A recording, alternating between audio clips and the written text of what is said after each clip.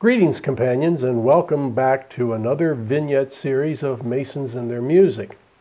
You know, war produces many things, one of which is irony.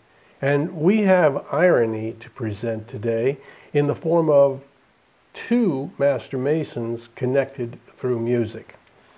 You probably know that Julia Ward Howe was the authoress of the poem that became the Battle Hymn of the Republic but it was a poem and it was published as that. And she went searching for music. And she heard John Brown's body lies a moldering in the grave, and the meter of the music matched her lyrics with just a little bit of adjustment on her part.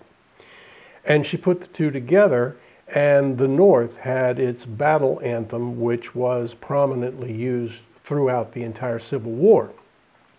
Well, as it turns out, John Brown's Body was written by William Steffe, who was a master mason from South Carolina. That's one irony. The other is commemorated, I believe, 159 years ago when we had the First Battle of Manassas, or the First Battle of Bull Run.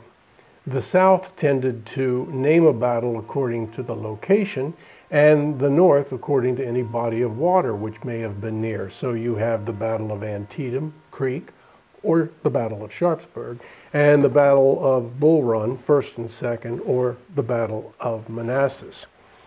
Well, something happened in the first Battle of Manassas with regard to music. George F. Root was a prominent musician uh, in the years leading up to and after the American Civil War. And he wrote a song and he very cleverly gave it two sets of lyrics. One was a set of rallying lyrics and the other was a set of battle lyrics. The rally lyrics were to help gin up support for the war, and the battle lyrics were for the soldiers to sing the song when they marched into combat.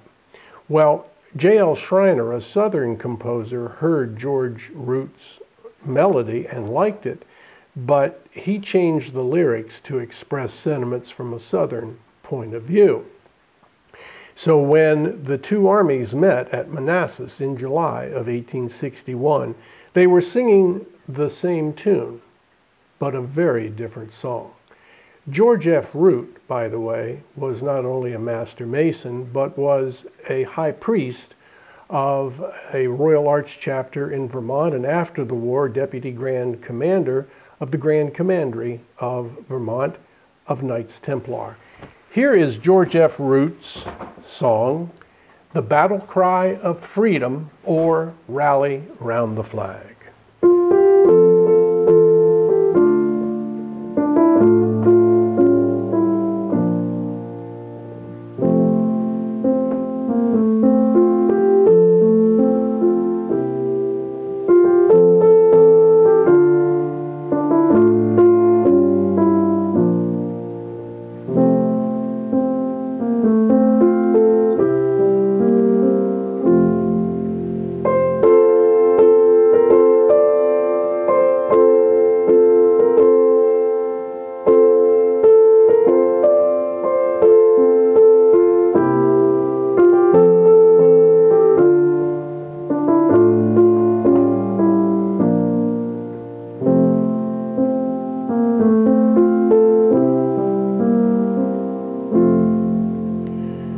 So a southerner gave the northerners their music, and a northerner gave the southerners their music.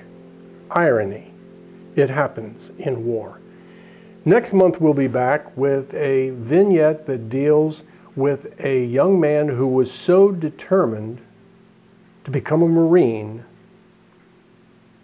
that he threatened his parents if they didn't allow it, he would run off and join the circus. Until then, Stay healthy and be well.